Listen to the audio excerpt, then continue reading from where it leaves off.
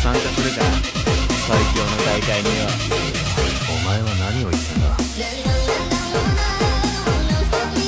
こいつは姫野先輩を弾で撃つだからこいつも弾を撃たれるだだから大会を開くお互いにこいつの金玉を蹴っていって警察が来るまでに一番でけえ悲鳴を出させたやつ正気かお前